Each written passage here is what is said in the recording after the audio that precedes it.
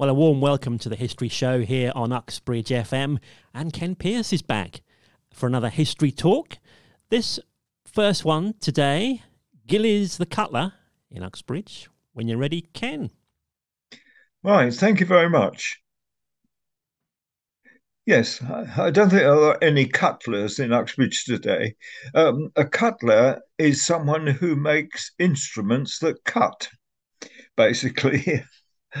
And um, we we had uh, a family in Uxbridge for several generations, and they they appeared in the town. And um, William Gillies uh, appeared in the, the, town. He'd come from Sheffield, which of course was always been noted for steel, uh, from which uh, cutting instruments are made.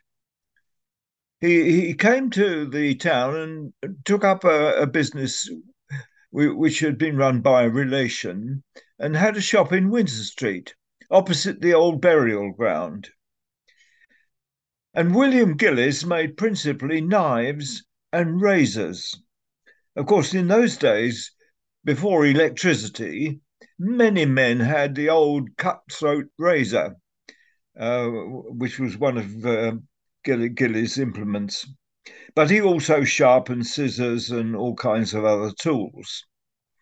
Uh, the family uh, had another branch in London, actually, in Marylebone. By 1861, uh, William Gillies had moved into the High Street, settling eventually in premises roughly opposite the end of Johnson's Yard.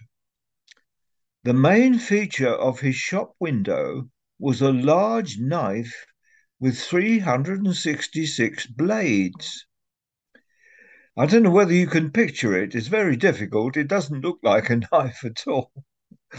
Um, and, and of course, it it was fairly useless. You know, you, you couldn't really manhandle this quite large object. But there we are. It, it must have been made as an exhibition piece, I think, uh, with one blade uh, uh, for every day of the year, even the leap year. In 1878, someone wrote a long poem about every shop in the high street. And one verse read, At Gillies I bought a new knife. Not from him, I believe 'twas his wife. She knows well her trade. As she opened the blade, said, My dear, it will last you your life. Apparently, Mrs. Gillies told everybody, My dear, which is uh, part of the point of this little verse. On one occasion, William Gillies admitted that his craftsmanship was bad for business because his knives were so good that many people never had to buy another one. William's grandson, William Frederick Gillies, helped him in the business and eventually took over uh, when he died in 1904. The younger Gillies then ran the shop until he also retired, and that was in 1954.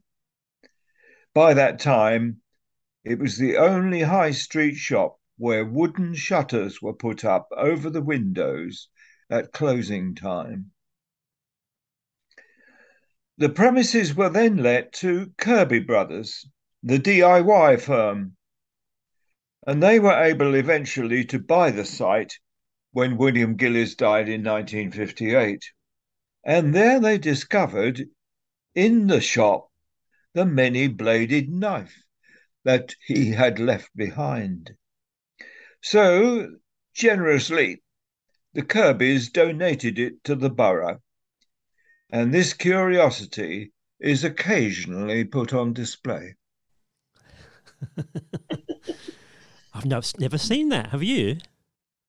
Well, yes, but it's like so many other things in Uxbridge.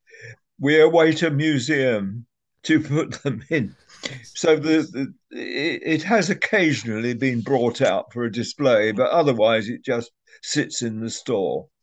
Okay, thanks. It must it must it must be hard for you to imagine it actually.